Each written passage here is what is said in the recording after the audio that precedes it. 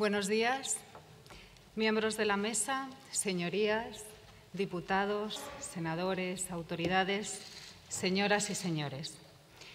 Es para mí un honor recibirles en el Senado, en este antiguo salón de plenos que vuelve a servir de escenario al acto central de la memoria del Holocausto.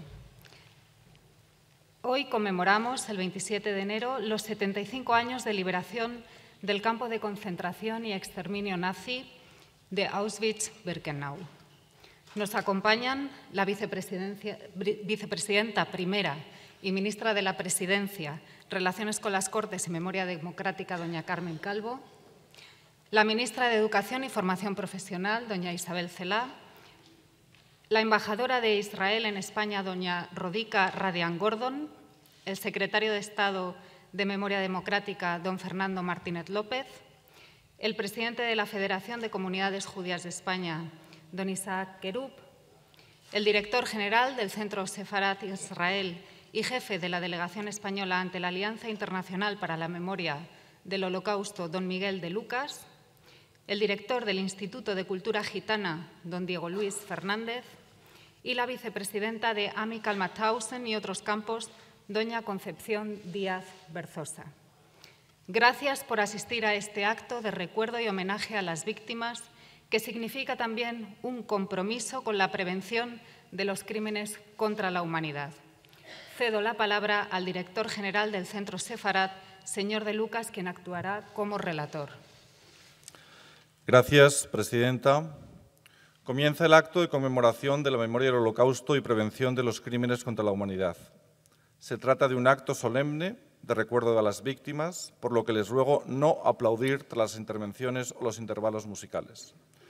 Hoy, 75 años después de la liberación del campo de exterminio de Auschwitz-Birkenau, los 34 países miembros de la Alianza Internacional para la Memoria del Holocausto, incluida España, reafirman su incondicional apoyo a la Declaración de Estocolmo del año 2000, así como a los solemnes compromisos que nuestros gobiernos suscribieron entonces y han reafirmado el pasado 19 de enero en Bruselas. El carácter sin precedentes del Holocausto siempre tendrá un significado universal para nosotros. Estamos comprometidos a recordar y a honrar a sus víctimas, a dar testimonio de la terrible realidad de la Shoah, haciendo frente a quienes la niegan o distorsionan. En este sentido, nos proponemos combatir el antisemitismo, el racismo y los prejuicios contra los gitanos. Estamos firmemente decididos a continuar la cooperación internacional para la educación, conmemoración e investigación del Holocausto. En primer lugar, damos paso a las voces de las víctimas. Por las víctimas judías interviene don Isaac Kerub Caro, presidente de la Federación de Comunidades Judías de España. Posteriormente escucharemos la interpretación de Eli Eli, poema en hebreo escrito en el año 1942 por la luchadora húngara de la resistencia judía Hannah Zenetz. La música es del compositor israelí David Sehavi. Interpreta el coro de la Comunidad Judía de Madrid, dirigido por Mercedes Bensaquem acompañados por Iván Conde López, flauta, y Guayarmina Calvo Hernández al piano.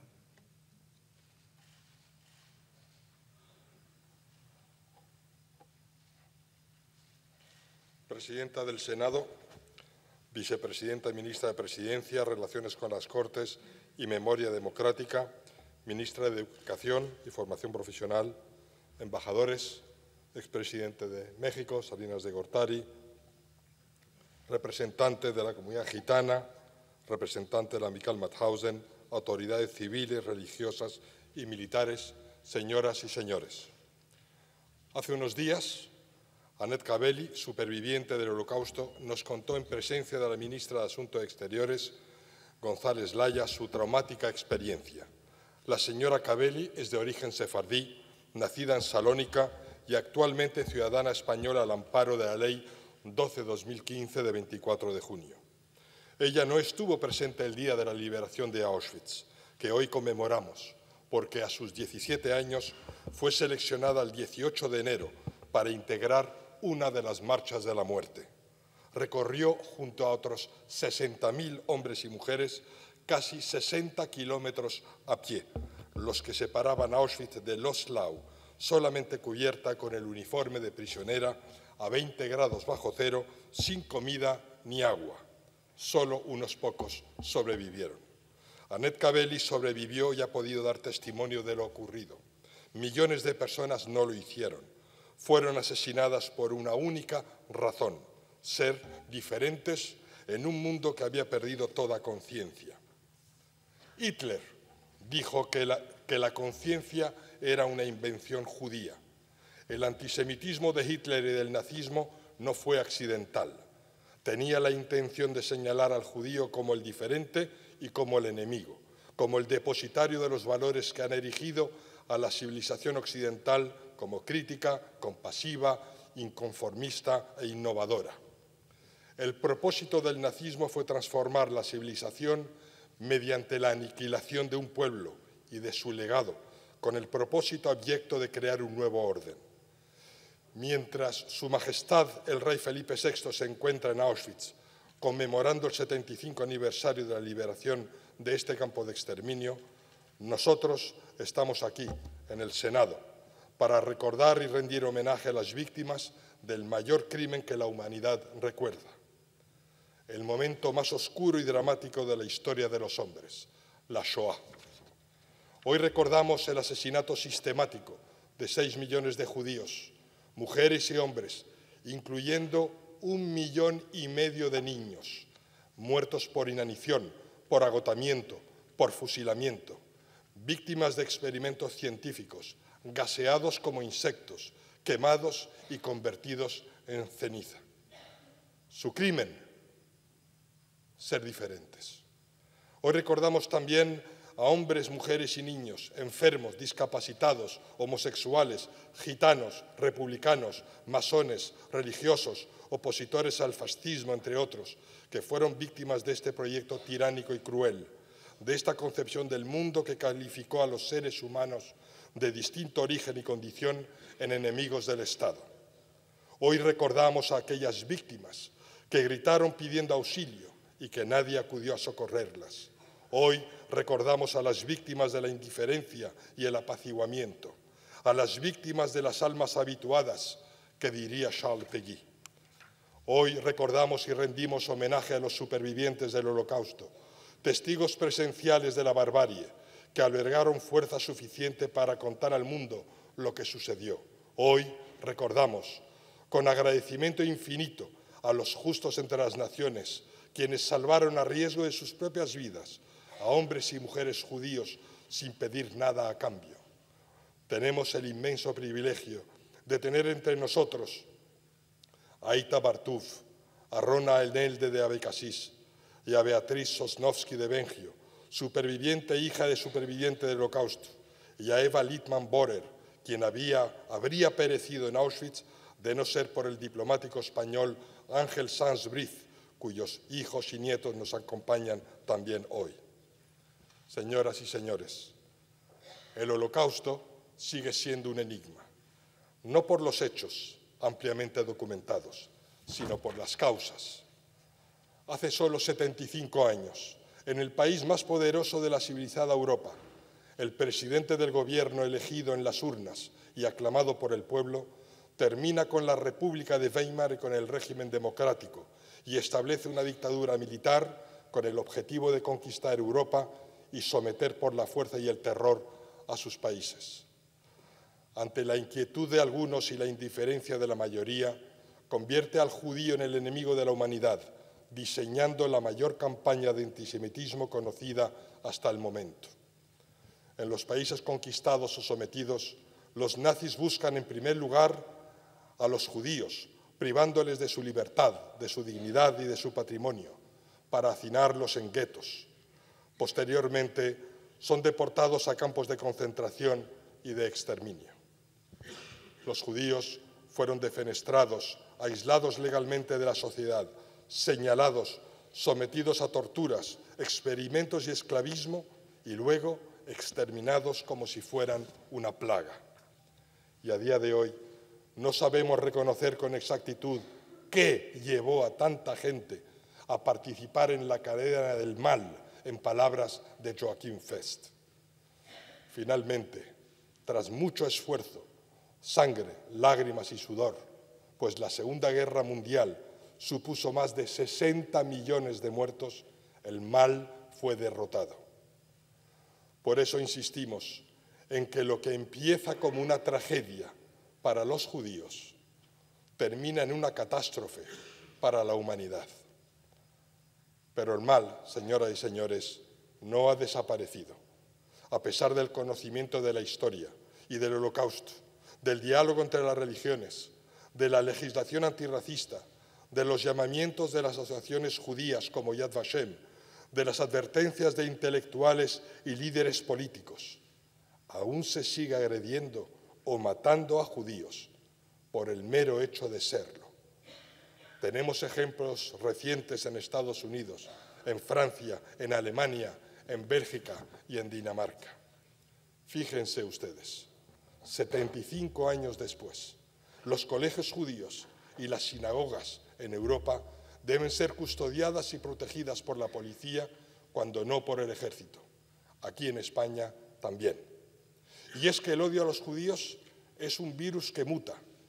Antaño los judíos éramos odiados porque habíamos cometido el pecado del deicidio o porque hacíamos el panácimo con la sangre de niños cristianos, porque éramos pobres y porque éramos ricos, porque éramos los capitalistas o porque éramos los comunistas, porque solo pensábamos en nosotros mismos o porque estábamos infiltrados en todas partes, porque teníamos una religión diferente o éramos supersticiosos, o porque no teníamos un hogar y éramos errantes.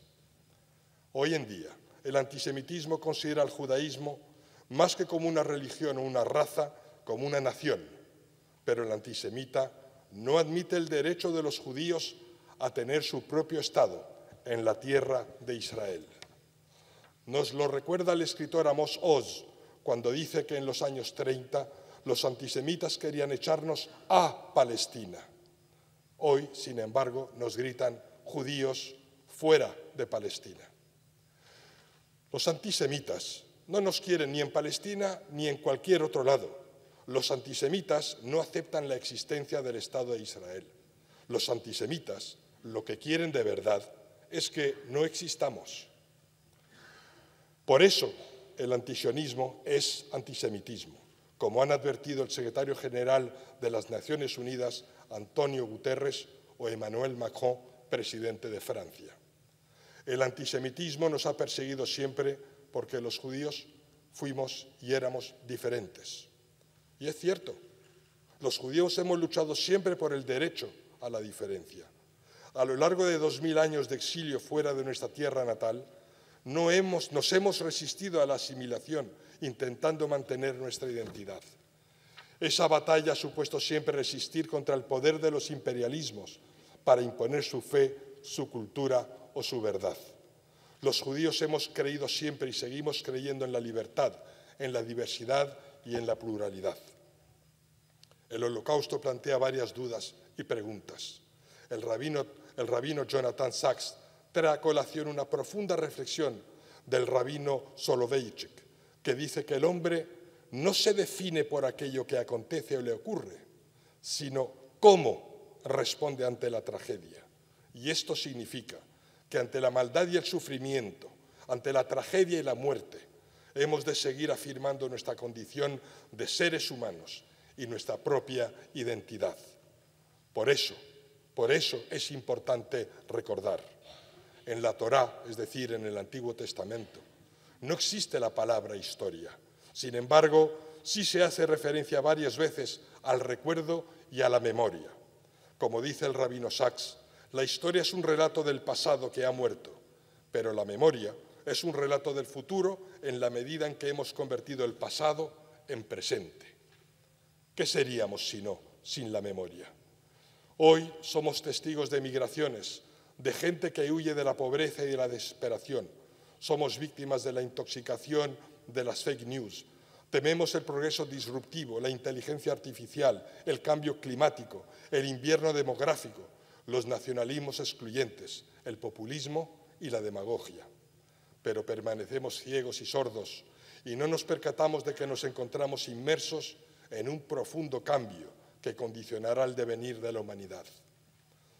Zygmunt Bauman, judío polaco que escapó de su país en el 39, llamó a esta nueva realidad el mundo líquido. Decía vivir en condiciones modernas líquidas se puede comparar a un campo minado. Todos saben que una explosión, una explosión puede ocurrir en cualquier momento y en cualquier lugar, pero nadie sabe cuándo ni dónde. Son, por lo tanto, momentos propicios para la demagogia, la incitación al odio y las tentaciones totalitarias. Hemos, pues, de asumir nuestro destino y orientarlo por el camino recto. Hemos de velar por la dignidad de las personas, por su libertad, por sus derechos y por la justicia social. Ahora bien, esto no se resuelve hablando solo del ayer o del mañana, sino construyendo una buena educación para las generaciones venideras. Siempre hemos creído y seguimos creyendo que la educación y la enseñanza son la mejor manera de cambiar el mundo y de progresar. Las familias y las escuelas han de enfatizar el valor de la libertad, pero también animar a los niños a preguntar, a discrepar, a dialogar, a respetar a las personas diferentes y sus opiniones y a alcanzar, como no, acuerdos y compromisos. Decía el juez americano Learned Hand que la verdad y la libertad radican en el corazón de los hombres y de las mujeres. Y cuando allí mueren, no hay constitución, ni ley, ni tribunal que las puedan ayudar o salvar. No se trata, pues, de luchar por la libertad, sino de mantener el espíritu de la libertad vivo en el corazón de las generaciones venideras. Y esto es solo posible gracias a un proceso de educación. Lo que hace grande a un líder no es que se preocupe de lo que pueda ocurrir hoy o mañana, sino en la próxima década o generación. El poder de un líder para transformar la sociedad radica en su visión a largo plazo.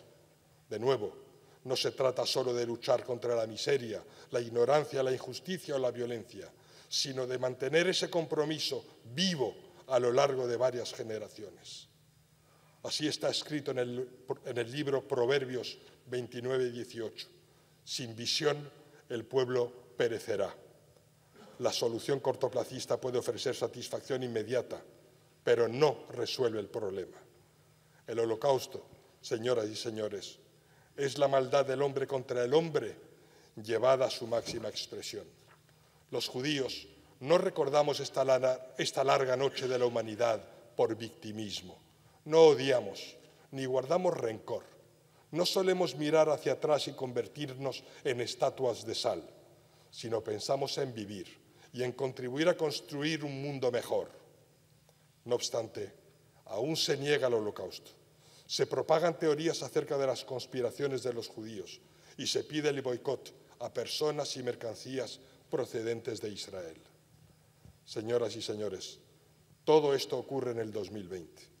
Por eso el rey Felipe VI reclamaba hace unos días en Jerusalén hacer todos los esfuerzos necesarios para combatir la intolerancia ignorante, el odio y la falta total de empatía humana que permitió y dio origen al holocausto. El ser humano necesita ser educado en el bien y para el bien, en los valores que hacen grande a una civilización, como la dignidad de las personas, el respeto al prójimo, el auxilio a los necesitados, la libertad, la justicia y la igualdad. Dice el Talmud, no estás obligado a concluir toda la obra, pero tampoco eres libre de sustraerte o eludirla. No tenemos la libertad de dejar las cosas como están. El antisemitismo afecta por igual a judíos y a no judíos. Señoras y señores, nuestra responsabilidad para con las futuras generaciones es propiciar una educación que les arme de las herramientas suficientes para afrontar los retos y desafíos que enfrentarán. Y sobre todo, para que nunca, nunca jamás permitan que ningún ser humano vuelva a sufrir por el hecho de ser diferente.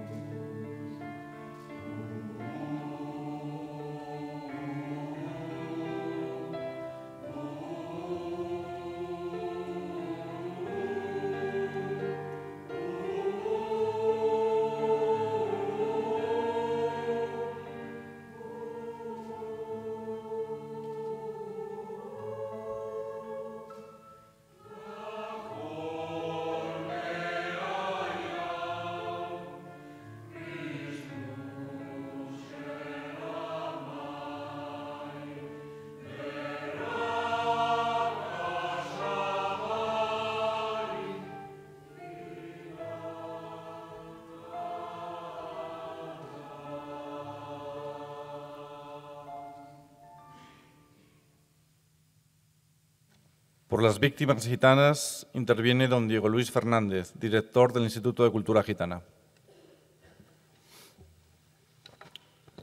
Presidenta del Senado, vicepresidenta del Gobierno, ministra de Educación, representantes de la comunidad judía, de los exiliados españoles, eh, director de Casa Sefarad, embajadores, autoridades, amigas y amigos. Un pueblo llega a su mayoría de edad y adquiere conciencia de sí mismo cuando estudia su pasado y se da cuenta que gran parte de su familia han sido discriminados, golpeados o asesinados solo por el hecho de pertenecer a su etnia. Y entonces es dueño de un gran secreto, un secreto que compartimos la comunidad judía, la comunidad gitana y otras comunidades que han sufrido ese exterminio. Y es que la visión de la realidad no es completa si no se pasa a través de los latidos del corazón. Porque la identidad de nuestro pueblo es el sonido de esos latidos, las alegrías y las penas de nuestros antepasados que están con nosotros cada día de nuestra vida. Además, en el caso del pueblo judío y del pueblo gitano, los intentos de exterminio han sido graves y reiterados a lo largo de la historia. Cuando Mahmud al-Ghazni invade el noroeste de India y provoca la primera gran diáspora, asesinó a centenares de miles de gitanos. El Santo Oficio asesinó a centenares de miles de gitanos en episodios tan sangrantes como la Gran Redada de 1749 en España, episodio que aún ni siquiera ha sido reconocido en nuestro propio país, aunque tenemos la esperanza de que eso ocurra en esta legislatura. Las gitanas y los gitanos han sufrido discriminación. Durante la época nazi, en 1933, se empezaron las esterilizaciones masivas en contra de las gitanas. En 1940, en Buchenwald, 250 niños sufrieron los temibles cristales del ciclón B, un veneno hecho a base de cianuro, que demostró cuánto tiempo tarda en morir un niño. En 1941, más de 15.000 gitanos fueron asesinados con camiones de monóxido de carbono en Chelmo, algo que ocurrió después en Treblinka. Los nazis no solamente asesinaron dentro de Alemania, sino en todos los países satélites. En el gobierno de Títere, de Ion Antonescu, murieron más de 80.000 gitanos en Rumanía. El llamado Partido de la Cruz Flechada en Hungría asesinó a más de 100.000 gitanos. Y lo mismo podíamos decir en Bohemia, en Lodz o en Kurhol, en Polonia, donde centenares de niños gitanos fueron estampados literalmente contra los troncos de los árboles. No tengo tiempo ahora de explicarles ni las técnicas ni las cuantías, pero sí quiero explicarles por qué asesinaron a los gitanos. A nosotros no nos asesinaron por cuestiones económicas, ni por cuestiones religiosas. El exterminio gitano fue un exterminio estrictamente cultural. No les interesaba nuestra cultura, porque nuestra cultura es una cultura mágica, que se negaba a que la tierra dejara de ser verde, a que la noche dejara de ser mágica. Nuestra cultura hacía que se amara con pasión en mitad de la lluvia. Nos negábamos a que se alambraran los caminos. Nuestra cultura era una cultura donde se respetaba a la familia y eso nos hacía fuertes. Y pensábamos que los niños tenían que jugar al aire libre. Y por eso le regalamos el aro del viento a los niños y la luz de la vida a los muertos. Nuestra cultura era una cultura muy fuerte y muy perjudicial para el poder establecido. Por eso creo que el mejor servicio que se puede hacer desde el año 2020 es invitarles a que se declare la cultura gitana patrimonio cultural inmaterial de la humanidad. Y por eso vamos a iniciar un expediente para esa declaración. Y pienso que va a haber mucha gente que nos acompañe, sea o no sean gitanos. Eso es lo de menos, eso es lo de menos. Porque cuando llegue la primavera, los gitanos siempre vamos a recordar quién estuvo a nuestro lado en el largo invierno, quién nos dio lumbre durante el invierno, quién estuvo con nosotros en el largo camino del desierto, quién secó las lágrimas de nuestros niños. Cuando llegue el tiempo de los gitanos, siempre recordaremos quién nos dio la fuerza de sus manos y quién pidió la paz y la palabra para defendernos. Cuando vuelva la música que se ha ido, los gitanos siempre recordaremos quién nos prestó sus latidos para que nuestras guitarras siguieran sonando. Cuando la luna vuelva a iluminar el verde prado, los gitanos siempre sabremos quién nos ayudó en el lungo dron, en el largo camino a través de los bosques, de los ríos y de los valles. Cuando amanezca, cuando amanezcan las gitanas y los gitanos, pintaremos de azul y verde la mañana y nuestra voz se escuchará clara en el Senado porque realmente y solo entonces habremos llegado a nuestra casa.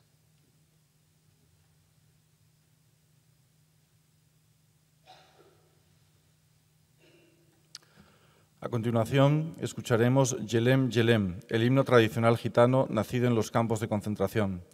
Lo interpreta Noelia Heredia, acompañada por Paco Suárez al piano. Les ruego se pongan en pie.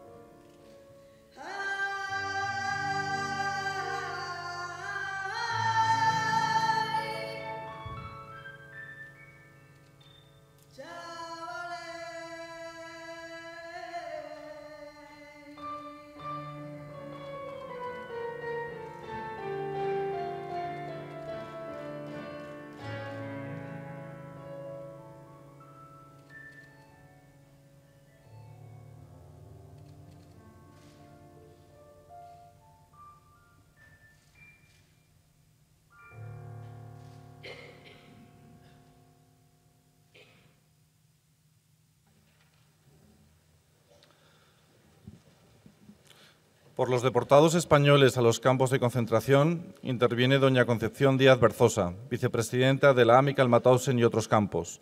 Acto seguido escucharemos el Canto por la Paz en la versión de Pau Casals, interpretado al violonchelo por Elena San Juan. Supervivientes, señora Itabartuk, señora Eva Leyman Borer, señora Roda Enelde, familiares y amigos de las víctimas del nazismo, autoridades, señoras, señores, señora Job, señor Kerup y señora Isens, de la Federación de Comunidades de Judías de España, señor de Lucas y señora San Román del Centro Sefara de Israel, muchas gracias por el apoyo para que nuestra asociación, que representa a las víctimas españolas del nazismo, tome la palabra en este acto de Estado.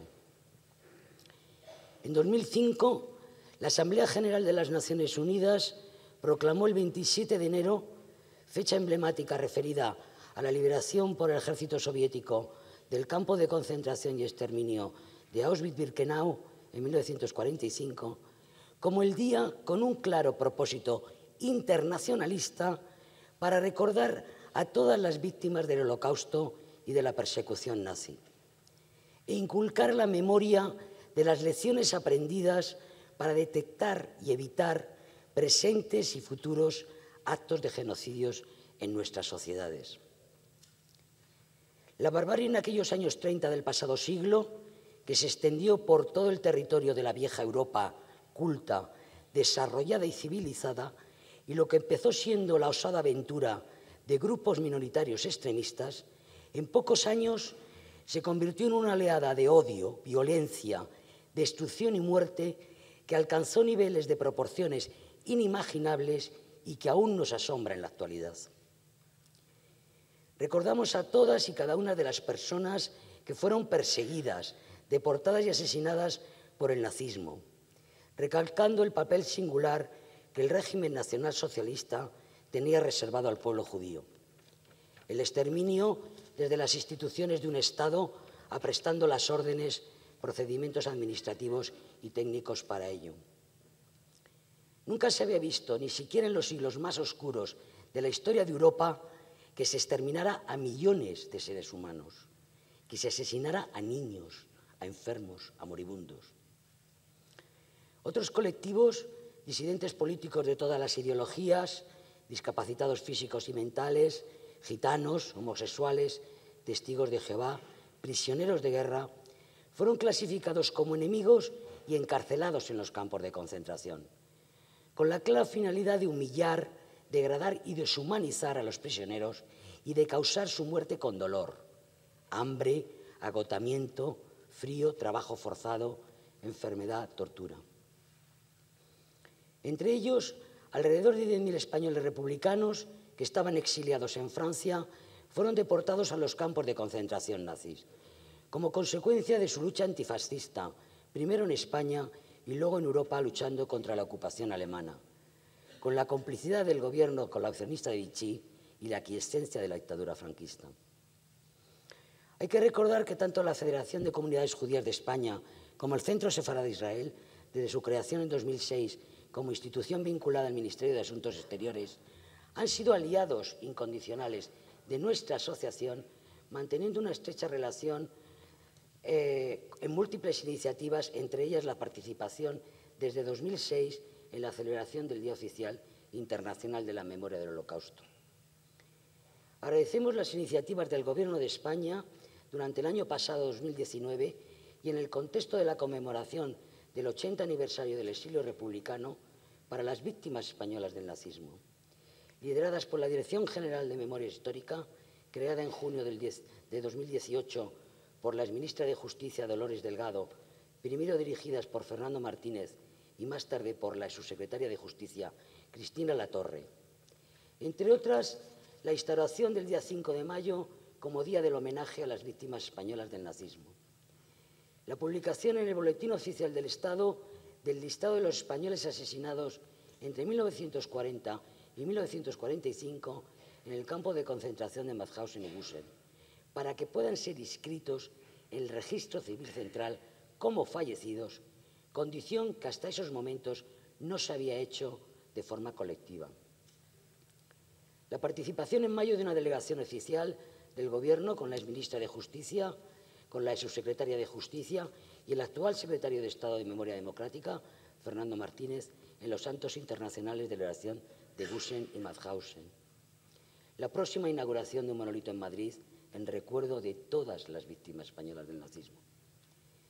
Pero hay todavía carencias de políticas de conocimiento del pasado y de reconocimiento de aquellos hombres y mujeres que lucharon por la conquista de las libertades, incluso en las circunstancias más adversas. Conocer la verdad sobre la historia, aprender y enseñar sus lecciones no es una opción, es una obligación, un deber y nuestra responsabilidad.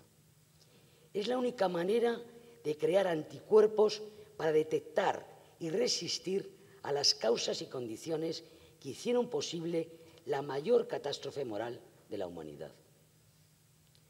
Las generaciones actuales y futuras tienen y deben conocer no solo los hechos que ocurrieron, sino los porqués y los cómo. Las condiciones que hicieron posible que en 1933 el 44% de la población alemana votara al Partido Nacional Socialista. El comportamiento de los partidos y organizaciones democráticas de todo el espectro ideológico, en quienes confió el 56% de los alemanes que votó en contra de los nazis, y la sensación de impotencia, debilidad y repugnancia que aquello generó en la sociedad. La ausencia absoluta de juicio crítico, convicciones firmes, dignidad y reacción de prácticamente toda la sociedad alemana, incluida la intelectualidad, y la indiferencia a las voces que alertaban sobre el peligro de la barbarie. La ideología que conduzca al holocausto, las injusticias que lo hicieron posible, la violencia que lo perpetró. Los intereses políticos, sociales, económicos que permitieron el nacimiento, el contagio y que se perpetuase en el tiempo.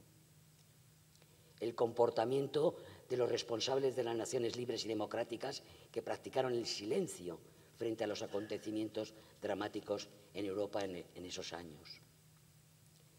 Se dice que la historia nunca se repite de la, misma manera, pero actualmente estamos profundamente preocupados por el creciente ascenso de partidos de extrema derecha a nivel mundial con programas en mayor o menor grado similares a los fascismos del siglo XX.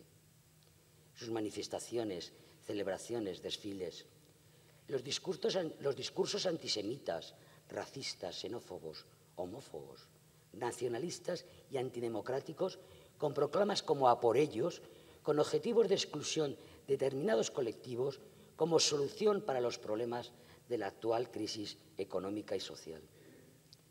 Los revisionismos y negacionismos de la historia del siglo XX, con comparaciones vergonzosas entre los que lucharon por la libertad con los que lucharon por un régimen totalitario. Unido al incremento de la violencia contra personas y comunidades basadas en el origen étnico o en creencias religiosas, ataques a sinagogas y cementerios judíos, agresiones a monumentos y memoriales erigidos a las víctimas del holocausto y del nazismo, a los vencedores de la Segunda Guerra Mundial. Y lo que es más alarmante, la falta de respuestas contundentes de las instituciones y fuerzas democráticas ante estos peligrosos acontecimientos. ¿Ha caído en el olvido el grito de los que experimentaron la barbarie pidiendo que no olvidáramos? La derrota del nazifascismo se cobró un tributo de varias decenas de millones de muertos. Dieron sus vidas por la igualdad y la libertad de todas las personas. Solo es nuestra la responsabilidad de que su sacrificio no haya sido en vano, comprometiéndonos con el juramento que nos legaron los supervivientes y luchando por un mundo justo, libre, solidario y en paz.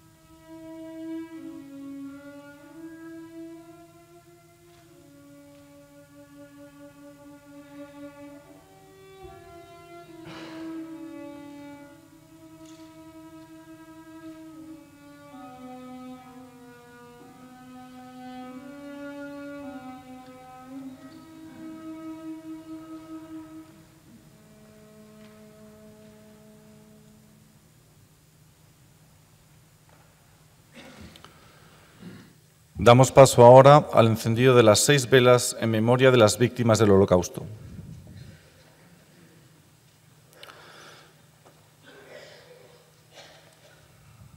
En memoria de los seis millones de judíos asesinados en persecuciones, guetos y campos de concentración, encienden la primera vela Ita Bartuf, superviviente del Holocausto, y Eva Leitman Borer, salvada por Ángel Sanzbriz.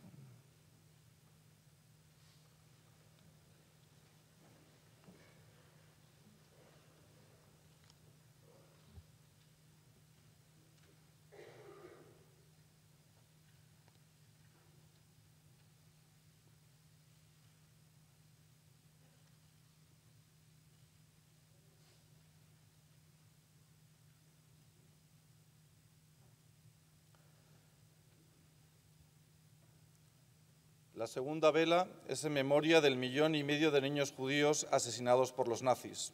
La encienden Ilan Haliwa y Shirel Pariente, alumnos del Centro de Estudios Ibn Gavirol, Colegio Estrella Toledano.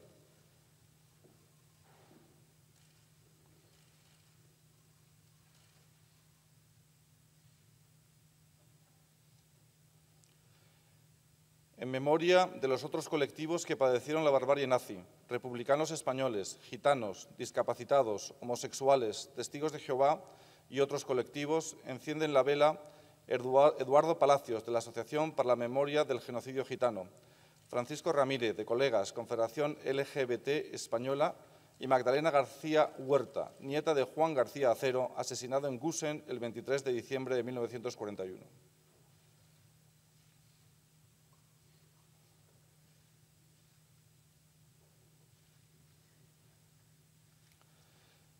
En memoria de los justos entre las naciones, aquellos que en riesgo de sus vidas salvaron a miles de perseguidos y en memoria de quienes fueron protegidos por ellos. Encienden la vela Pilar Sanz-Briz, hija del diplomático español Ángel Sanz-Briz, que salvó a miles de judíos en Budapest en 1944, y José Ignacio Jiménez Blanco, vicepresidente de la Asociación Yad Vashem España.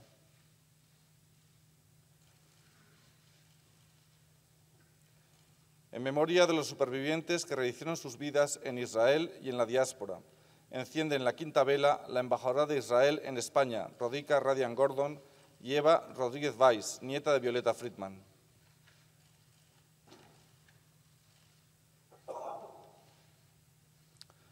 Por la preservación de la memoria de las víctimas del Holocausto y de los justos entre las naciones, por la ineludible responsabilidad de luchar contra el negacionismo, rechazar el odio, combatir la indiferencia y elevar los principios de la convivencia y de la vida misma, encienden la última vela Claudia de Santos, concejala de Turismo del Ayuntamiento de Segovia, y Juan López, vocal asesor del gabinete del secretario de Estado de Educación.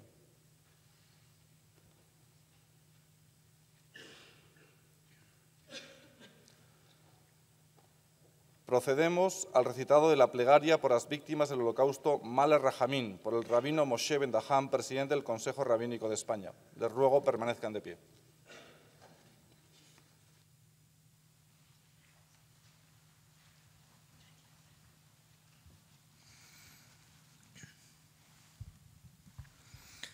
El Male Rajamim Shochem Bamerumim המצא מנוחה נכונה תחת כנפי השכינה במעלות קדושים וטהורים כזוהר רק ים אסירים לנשמות שישה מיליון מאחינו בני ישראל אנשים, נשים, ילדים וילדות שנהרגו ושנשחטו, שנחנקו ושנשרפו ושנקברו חיים. על קידוש השם בארצות תחת ממשלת גרמניה, ובשאר ארצות השמדה, ובארצות אירופה, שמסרו נפשם על קידוש השם, בעבור שקולם בישראל ובגולה נתפלל להזכיר זכרם ולעילוי נשמותיהם לכם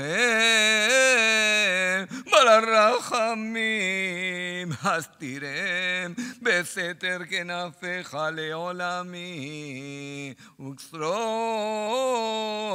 בצרכם נשמותיהם בגן עדן אדוני ונחלתם ארץ אל תכסה דמם ותשתוק לזעקתם וינוחו בשלום על משכבותם ונאמר amén. Dios, lleno de misericordia que reside en las alturas, concede perfecto reposo en el reino celestial entre los justos y los puros que brillan resplandeciente a las almas de los seis millones de nuestros hermanos y a todos los hombres, mujeres y niños que fueron vilmente asesinados, quemados, ahogados, estrangulados y enterrados vivos, santificando el nombre divino en los países del opresor nazi. Todos ellos son merecedores de que hagamos una plegaria para recordarles y elevar sus almas. Dios misericordioso, conserva por siempre sus almas vivas bajo tu gran presencia descansen en paz y todos los presentes diremos amén.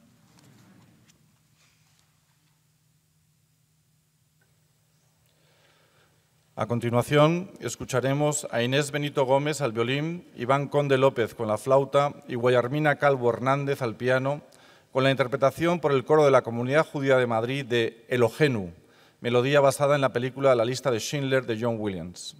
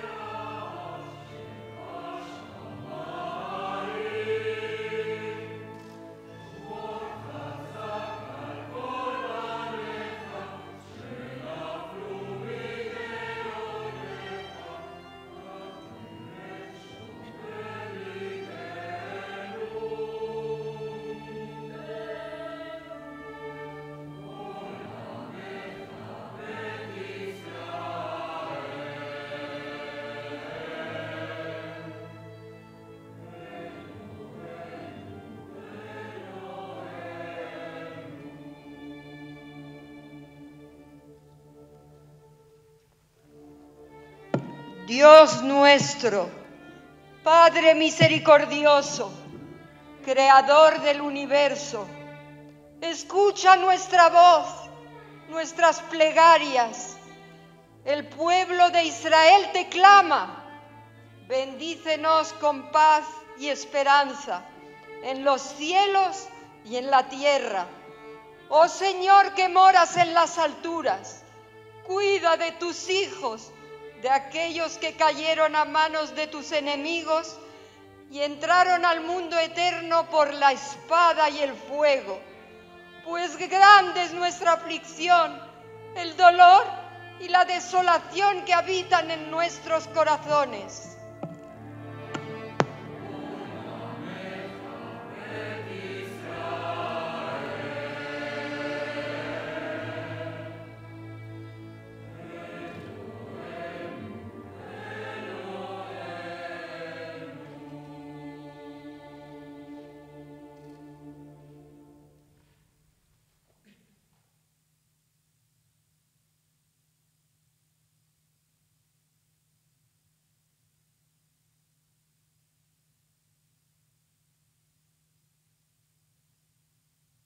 La, eh, la vicepresidenta primera, ministra de la Presidencia, Relaciones con las Cortes y Memoria Democrática, tiene la palabra.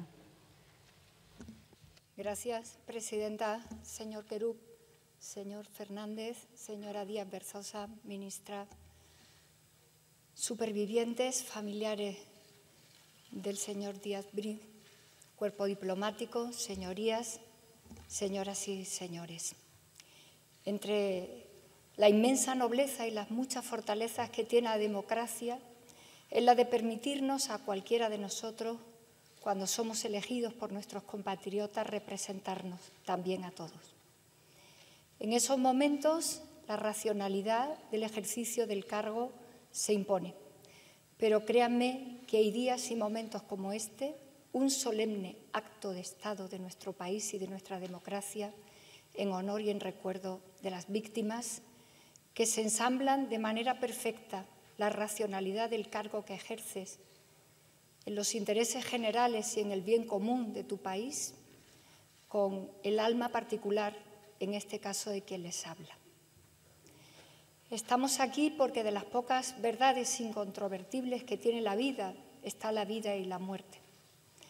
Estamos aquí porque fueron asesinados, porque eran diferentes, porque eran judíos o gitanos, homosexuales o combatientes contra el fascismo español. Estamos aquí porque alguien, como bien dijo, y entendí muy bien en mi adolescencia, porque como dijo Arthur Rimbaud, el otro soy yo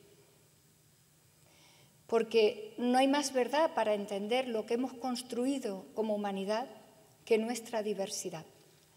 En la diversidad está la libertad de cada uno de nosotros. Entre todos construimos el segundo pilar de nuestra existencia, que es la igualdad radical de todos por diferentes.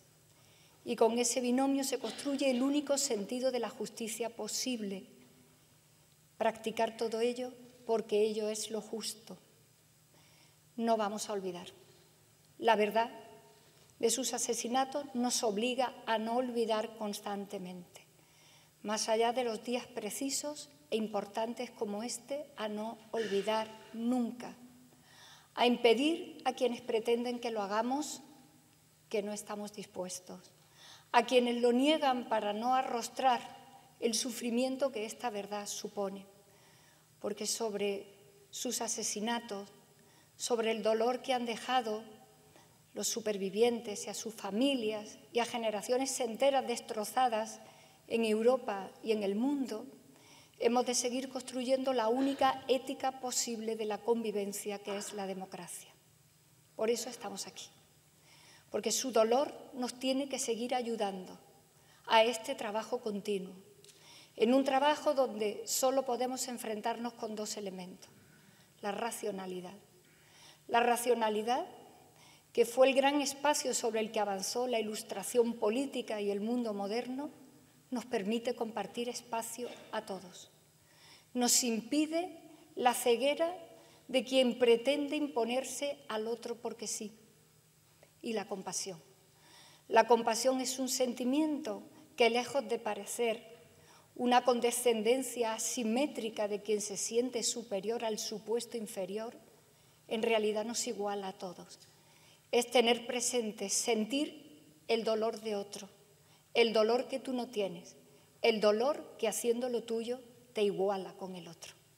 Para eso estamos aquí, para recordarlos y para saber que siguen siendo nuestra guía y porque la peor de las indignidades que podemos añadir a sus asesinatos fuera olvidarlos.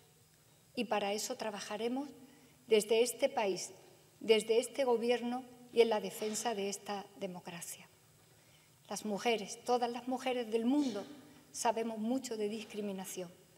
No hay fronteras, no hay culturas, no hay idiomas y no hay estados que no hayan atravesado también nuestra discriminación.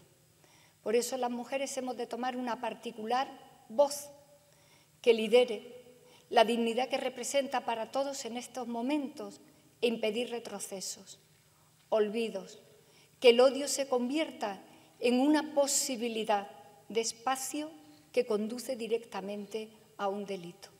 Para eso también estamos aquí, para que todo ello suponga la mejor energía, el mejor de los impulsos cada día, en cada lugar del mundo, también desde España. Este es un solemne acto de Estado, que, como decía en mis breves palabras iniciales, trasciende con mucho la representación política que podamos tener cada uno de nosotros, particularmente la modesta mía. Es un compromiso del único sentido que la humanidad tiene, reconocerse a sí misma, reconocernos en nuestra diversidad y no hay más camino trazado que este. Ellos pagaron con sus vidas, de manera cruel e injusta, pagaron por reivindicar la libertad que como seres humanos le correspondía, pagaron combatiendo al fascismo. No hay más camino de este. Somos inmensa mayoría en este planeta quienes pensamos así. La democracia es el gran elemento civilizatorio que nos ha costado siglos construir. No vamos a perderla pero aquí estaremos para honrar su memoria. Quienes los ayudaron fueron sin duda los mejores de aquellos momentos. Quienes se atrevieron a levantar la voz y ayudarles son mejores que todos nosotros. Rindamos dignidad a su recuerdo, procurando ser los mejores demócratas en cada una de nuestras responsabilidades. Tengan presente que así lo hará este Gobierno al que yo me honro en representar hoy aquí. Gracias.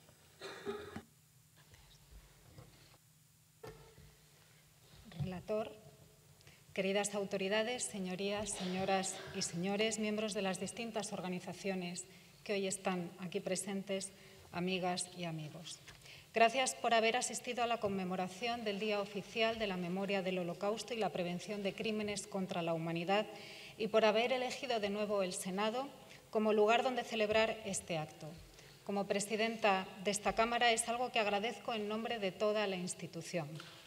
Siempre estaremos a su servicio y al de la causa de la memoria del Holocausto. Nuestro objetivo hoy aquí no es otro que comprometernos, como es nuestra obligación, con el deber ético de recordar y honrar la memoria de los millones de víctimas del capítulo más negro de la historia de Europa, para impedir el olvido en vez de la mentira y enfrentarlo con valores y herramientas de una sociedad digna, la verdad y el conocimiento. 75 años después recordamos el exterminio de la población judía, las víctimas de la Shoah, seis millones de mujeres y hombres, entre los que se encontraban un millón y medio de pequeños, de niños, de niñas, masacrados por la barbarie del nazismo. También recordamos a las decenas de miles de gitanos y otros colectivos sacrificados en nombre de una aberrante idea de superioridad que contradice la propia esencia del ser humano. Un sentido recuerdo también a los españoles en el exilio, que murieron en su mayoría en campos de concentración y a los, y a los supervivientes de aquel infierno, cuyos testimonios aún nos estremecen.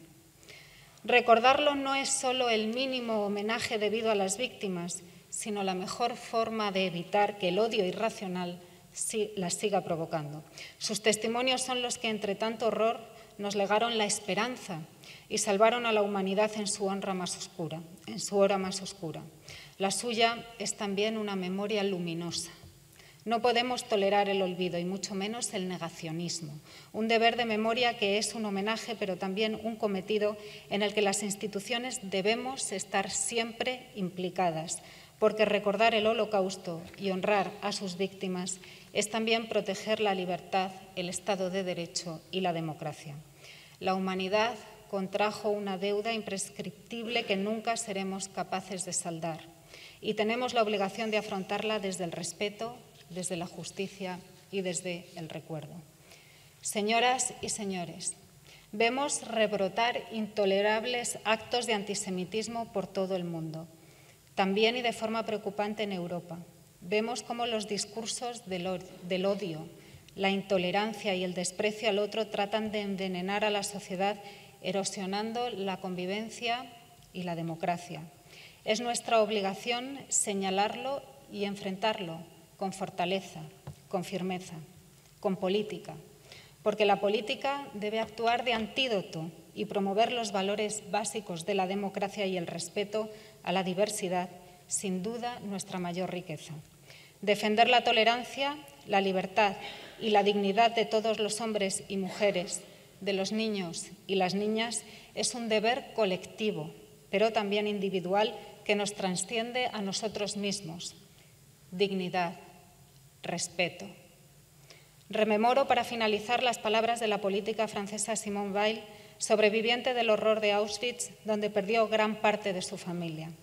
Destruir nuestros cuerpos no les era suficiente, también debían hacernos perder nuestra alma, nuestra conciencia y nuestra humanidad. Actos como el que hoy nos ha reunido constatan que no lo lograron, que nadie pudo arrebatarles el alma, la conciencia ni la humanidad y esa lección inolvidable constituye un legado inmenso de dignidad que nos sirve para alejarnos de la barbarie y apostar por la unidad, el respeto y la paz. Muchas gracias.